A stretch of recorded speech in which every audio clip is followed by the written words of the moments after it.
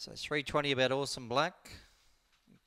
Golden Gusset 420, 440 Instant Gold and Run Rex Run 750 along with Fat Jack 750.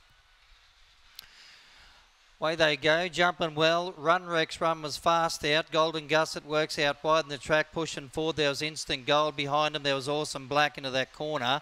Then followed by Sorosso wide in the track. There was Jack's Rose. Well back there was Fat Jack and Winlock Punky onto the corner. And Run Rex Run is clear. Dashed away from Instant Gold and Run Rex Run has beaten Instant Gold.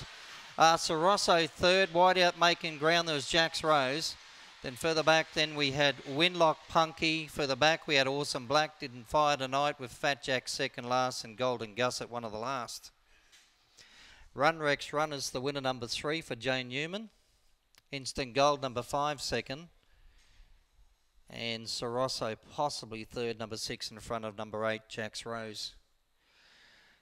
So three, five, six, and eight. Three, five, six, and eight. Seven forty-five early. A run home time of fourteen forty-six and twenty-one ninety-one. Three lengths by five. Three by five. And uh, Run Rex Run is racing extremely well at the moment. He's had a second a win, second, second, second. Another win here tonight, trained by Jane Newman. So gives her a win and double. Won the uh, one of the earlier races with Tarantula back in race number two. So three, five, six, and eight, three lengths by five, 21.91, 7.45 early, run home 14.46. So three the winner, run Rex run.